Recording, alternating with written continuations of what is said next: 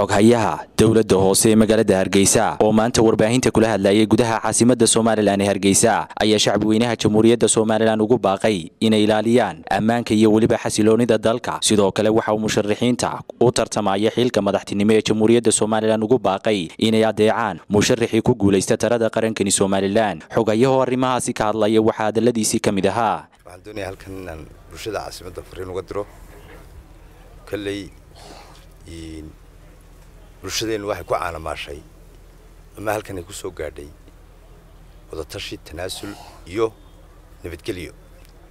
Runtii dhaqankeenna suuban ama akhlaaqdeenna suuban ayaa u horseeda horumarka aynu gaadhnay had iyo jeer. Maanta waxaynu ka soo gudubnay hawlihii ololaha iyo doorashadii. Bulshadu saddex xisbi ayay dee codka mar walba siinaysay. Saddexda xisbi ay kala dooranaysay doorashadaasi waa hanaanka uu ku yimaado ninka hogaaminaya dalka. Wuxuu ku imanayay codkeenna aynu bixinay. Waajibkiina saarnaa haddaynu bulshada nahay waa gudanay. Codkii waa siinay. Kolley saddex qof meesha kumay fadhiisteen saddexda musharax. Labana may guulaysteen saddexna may wada guulayst may wada guulaysanayn laakiin midunbaa guulaysan lahaa. Hal qof ayuu ahaa hoggaanka la dooranayey saddex qof baana la kala dooranayay. Kii ilaahay u qoray ayuunbaa soo baxaya oo helaya haddii la idhahdo codka ugu badan kii hele un baana helaya. Waxaan ka codsanayaa bulshada caasimadda ku dhaqan inay mar kasta iyo meel kastay joogaanba ilaaliyaan nabadgelyada iyo walaaltinimada. Dadku waa ehel xigaal dad wada dhashay meel kala tegi maayo. Tartankuna waxa weeye sida ciyaarta kubadda aynu daawanno oo kale. Waa aragteenoo dee laba tiim markay wada ciyaarayaan. Ama dee guruubo badan markay wada ciyaarayaan kubadda. Cidunbaa ama u soo baxdo wareega finalka. Ama cidna way hadhaa markaa waxaan jecel lahay ciddii heshana inaynu ku hambalyayno. Ciddii weydana aynu hambalyayno. Ninka laga helaa maaha nin guuldaraystay waa ninka halkaas soo gaadhay ee tartamay. Maalin maalimaha ka mid ah ayuunbuu isna heli doonaa insha allahu bismillahi kariim. Waa wax iska caadaa waynu ogeyn madaxweynaha jamhuuriyadda somaliland xilligan fadhiya.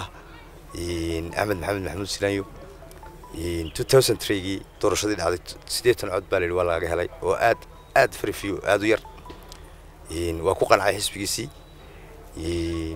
Daahir yaalo kaahin oo fadhiyey kursiga waa ogeydeen isagoo madaxweynaha baa la yidhi waa laga helo xisbigii mucaaradkaabaa kaa helay. Sidii wanaagsaneed ee sharafta lahayd uu wareejiyey ama uu go'aanka u qaatay. Waxaanu jeclahay saddexda xisbi labada ka hadha tartankan in ay qaataan go'aamadii ragga hore qaateen oo ay u hambaleeyaan ciddii heshay koodii helay. Waa dad walaalaabay ahaayeen midun baana tegi laha kursiga si wanaagsan laisugu haneeyey doorashadii inoo dhacday doorasho aad u fiican oo adduunku inagu ammaana bay ahayd maalinba maalinta ka dambaysa waxaad moodaa inaynu sii korayno xagga dimuqraadiyadda. Waxaan jecelahay dimuqraadiyaddii fiicneed ee nagu dhacday inaynu giddigan wada ilaashanno haddaynay dadweynaha caasimadda aad iyo aadna waan u hambalyaynayaa bulshada ku dhaqan caasimadda jamhuuriyadda somalilan. Shaqaaqadii yareed ee dhacday maalintii dhaweyto ciddii ku dhimatay. Allah u naxariistaan leenahay. Samiriya imaanaha ka siiya eelkoodii kolley waxay iska qoran bay ahayd oo qadarka ilaahay lama joojin karo laakiin waxaanu jecelahay bulshadu inay mar kasta ka digtoonaadaan arrimaha noocaasa waa dalkoodii waa dadkoodii meel lama kala tegayo. Iyo waxa weeye inagu haddaynu taageerayaasha ahayn iyo haddaynu dadkii codeeye ahaynba inagu halkii aynu doonay waynu soo gaadhsiino codun bay nagu lahaayeen saddexda xisbi qaran. Codkiina waa bixina wax kaloo inoogu hadhay waxa inoogu hadhay un inaynu dee hambalyayno kii helay. Waa xiriir koosar wararka telefishinka caalamiga star t v hargeysa